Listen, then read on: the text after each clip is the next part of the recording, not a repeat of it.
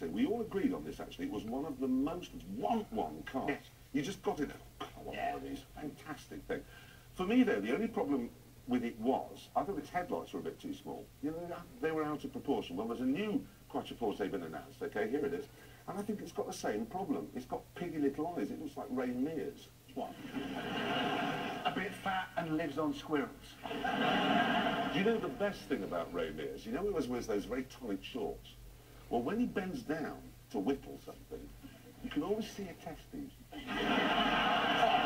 That is the best thing about Ray the best thing. The occasional glimpse of chicken skin outside of his shirt. No, it's, it's, you know what I mean? It's just...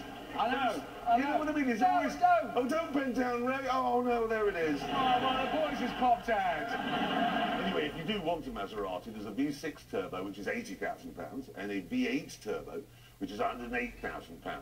I did want one quite a lot. You have now ruined it. And that's the end of the news. Now, over the years, we've had many